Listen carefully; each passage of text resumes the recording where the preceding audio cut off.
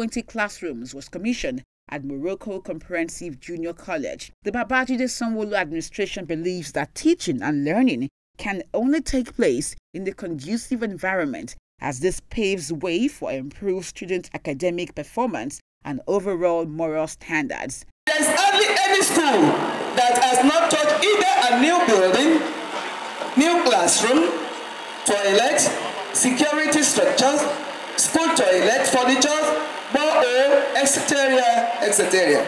This reflects the amount of activities going on in upgrading infrastructure in our schools. This is just one of the various schools that we have built, that we have added value to education in this state. Let me tell you one thing that is unique about this occasion.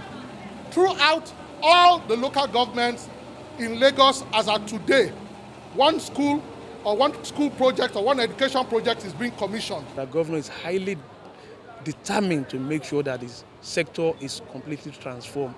Uh, this is part of his uh, Safe School initiative. And the main you know, focus in Safe School initiative is to provide you know, conducive, safe, secure, and comfortable environment for learning and teaching. And that is what Mr. Governor has been able to do. This is one of the developments in education.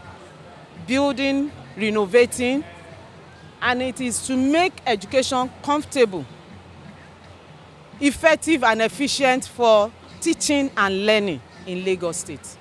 We want to say thank you. We'll take care of this infrastructure, everything in our own care. We'll do our own part to the best of our ability to make sure that it is maintained. This will greatly improve our academical abilities and I would like to encourage our students to put in their best into their studies so as to, so as to encourage Mr. Governor to do more for us. In all, the Lagos State government has completed more than 1,097 school projects covering 997 schools across the state, just as it has also ensured the upgrade and rehabilitation of 322 dilapidated public schools and the furnishing of primary schools with 87,000 dual units of chairs and desks in two years.